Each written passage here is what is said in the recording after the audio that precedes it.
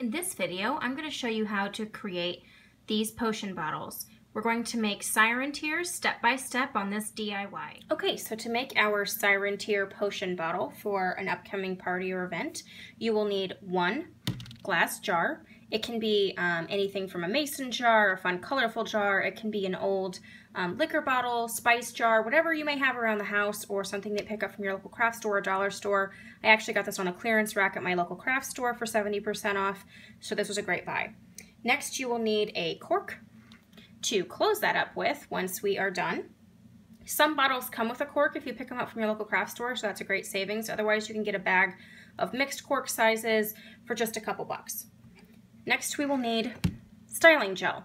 Um, this is going to be the solution we use to help suspend everything and to help create our potion. Um, I picked this up at my local uh, dollar store and um, a reason I use styling gel or soap or something along those lines um, versus uh, water or some other items. One, it gives a little bit of a suspension quality, which I really like. This one has some bubbles, which I really like for this particular um, bottle. It also isn't going to evaporate or dissipate um, like some uh, solutions would inside this bottle. So we should be able to use this for um, some years to come. Uh, the other reason I like using this is it's just, it's better than water. If you put water inside your potion jar, you are for sure only going to be able to use it for one um, party or Halloween season. It's going to start to evaporate. It is going to get kind of slimy um, and it'll get really gross. So anything that you put in there will just kind of be a waste. So this is something that we'll be able to use for quite a while. Next, you will need some beads. Um, you can get these at your local craft store. I actually picked these up at my local dollar store, and they came in a variety of different sizes and colors. So don't uh, be afraid to wander those aisles at your dollar store and see what kind of items you can find. Next, we are going to need some glitter. This is kind of an opalescent um, white glitter. We're going to put that inside there. That was a pack of eight that I got for just a couple bucks. So I'll be able to use some of the other colors in upcoming potion videos. Next we will need our um, label for the bottle and I actually printed this Siren Tears label um, on some sticker paper so we're going to be able to stick it right on our bottle without having to Mod Podge or glue it on there and that was just a download that I got off of the internet. Next our surprise ingredient is going to be silica beads. So these come in your shoes, some dried goods, um, things like that and we're going to use these because when you open them up they have a really great bead quality and they um, take on some of the liquid because their purpose is to try to keep the item dry. So because they take on a liquid, they kind of get a little bit of a gel quality to them. Um, so we're going to put these in there just to kind of give it a little bit more of a teardrop feel. And then to mix everything up and to get it all where we want, um, I'm using a long uh, cooking skewer, but you could also use a straw or any other long stick, um, metal um, piece of wire, anything like that. So let's get started. Okay, so first we're going to take our glass bottle or jar and we are going to add our silica beads. If you don't have any silica beads or can't find any at um, your local retailer, you know, a lot of times they'll give them to you for free because they come packed with um, their freight. Um, if they won't give you any, by all means, you could just use some clear beads. We just want to get a little bit of that um, drop feel to kind of give a mimicking to some teardrops. Next, I'm going to add a little bit of my glitter.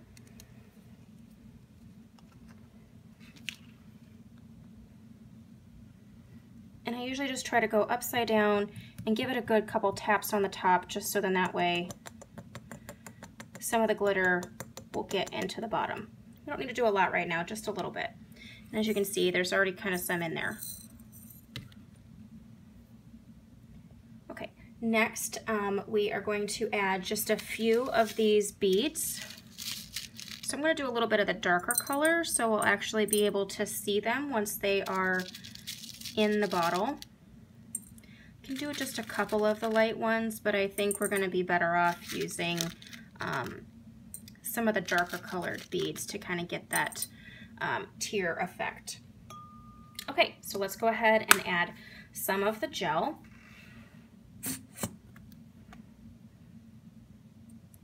And it's really better if you can hold it up like this and get a stream in there because if you start to um, put it right to it, you can sometimes clog up that opening really easily.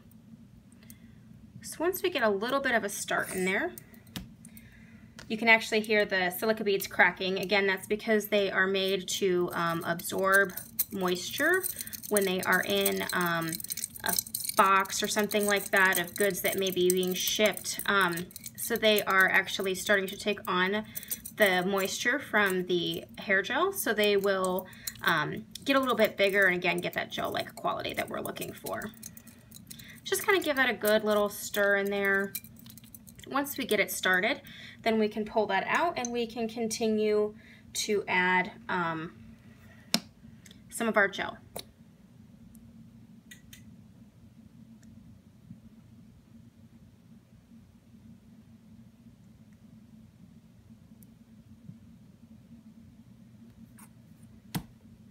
And again, I'm going to add just a little bit more of my glitter.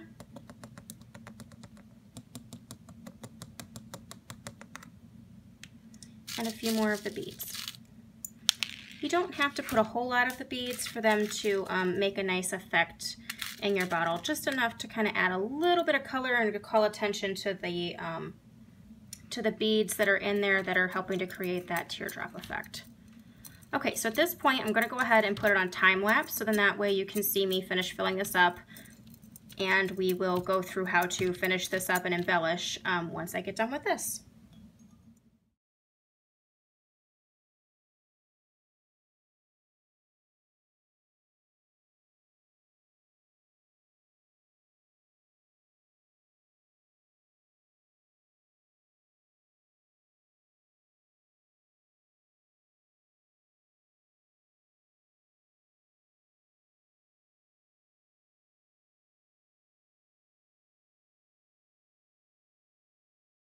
Great. I'm going to add just a tiny bit more gel um, because our cork is then going to go in. Just add a little bit more gel. And then take our skewer, and again, you can kind of go around the neck of the bottle just to kind of stir it in. And if any of your suspended pieces are not where you want them to be, you can kind of move some of them around with the skewer at this point. But I think we have a pretty good dispersal of some of those beads and the silica. So um, as you can see, you can see the glitter shimmer in the light. So it kind of gives a really whimsical feel. This wouldn't just have to be something for a Halloween party um, or for Halloween decorations or something like that. You could also maybe use this for like a little mermaid party or anything like that as well. And I think I'm going to put just a little bit more in here because my cork sticks out um, a decent amount, which I actually like because I think it adds a little bit of a different quality to it.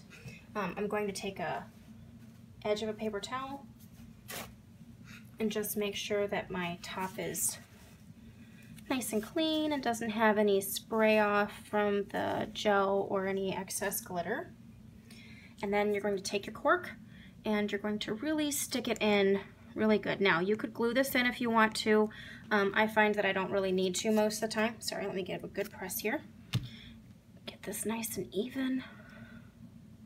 And I kind of like that this one sticks out a little bit more. Um, it just kind of adds a little bit of a, um, a different quality to each bottle. You don't want all of your bottles to look exactly the same and you don't want them to necessarily look store-bought. You want them to look unique and different because you made them. So um, in just a sec here, we're going to go ahead and start to embellish it with its label. Okay, so we're going to take our completed bottle now and we are going to add on its label. So what I like to do is find my least favorite side and that's the side I like to stick my label on. So I actually think that this is probably um, my least favorite side just because it has a few less of the beads and things towards the front. So we're going to go ahead and um, take our sticker paper that has our label on it and we're going to go ahead and peel that backing off. So they usually have these rips in there so it helps you peel it. I'm just going to peel that right off. And then we're going to line it up on our bottle. And just try to center it and get it as straight as you can. And if you mess up, it does peel off pretty um, easy to get it positioned exactly where you'd like to sandstone.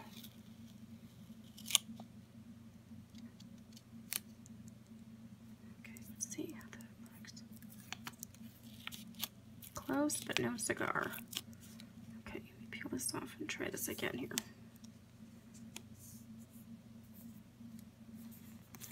I think we'll go ahead and go with that.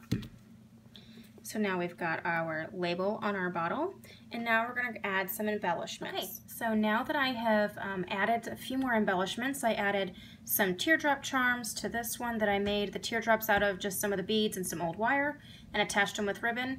And then on my mermaid wish, I actually took some of the netting that sometimes comes with um, some products that I would have put inside of the um, other potion bottles. I took a little bit of that, snipped it off, added it to the top of this, tied it with some jute twine, and then added a um, starfish gem to that. Um, now we've got a little bit of a finished look on both of these. Um, and just as a reminder, Mermaid Wish is exactly the same um, mixture of items that we put inside of Siren Tears. So this is the same hair gel, glitter, and beads. We actually used the lighter color beads that came with um, the dollar store pack that I got. Um, but everything else on there is exactly the same. It's just the difference between the clear bottle and a colored bottle. So I was able to get two different potions with the same um, ingredients, but they have a different look because of them being in the different shaped bottles and different colors. Well, I hope you enjoyed this um, DIY, and I hope you uh, will have fun creating these for your party or upcoming um, Halloween event or mermaid party. Um, if you like this video, please give me the thumbs up. If you haven't subscribed, please do so and leave any comments below. Thanks so much.